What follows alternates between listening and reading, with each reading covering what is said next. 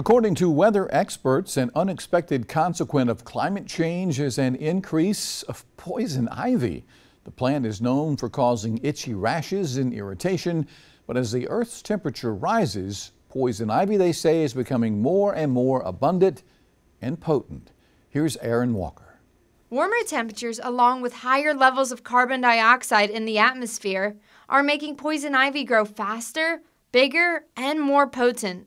Poison ivy is a carbon dioxide loving plant. It thrives at high levels of the greenhouse gas. So, as CO2 levels increase, so does the growth of poison ivy. As a result of climate change, this plant stands to gain greatly. In a six year study conducted at Duke University, scientists raised carbon dioxide levels in a forest plot to 570 parts per million, which is roughly the concentration expected at the end of the 21st century. As a result of high greenhouse gas levels, poison ivy increased its biomass by 67% more than poison ivy that did not have elevated carbon dioxide levels. In addition to growing faster, poison ivy is also producing more of its active agent, urushiol. This oily substance is what causes the itchy rash in humans. With more potent poison ivy, people are likely to experience more severe reactions. Scientists say that with climate change continuing to worsen, poison ivy will likely become an even bigger problem in the future.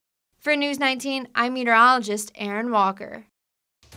Taking a closer look now at the difference between poison ivy, poison oak, and poison sumac.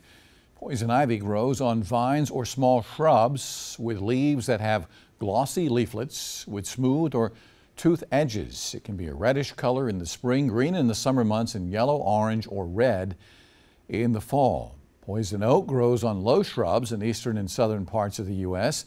It's got fuzzy green leaves and clusters of three that are deeply toothed with rounded tips. And then there's poison sumac. It's not really around the Midlands, but it grows on a tall shrub or small tree in swamps. Each leaf has clusters of 7 to 13 smooth edge leaflets with colors that can vary while the seasons change.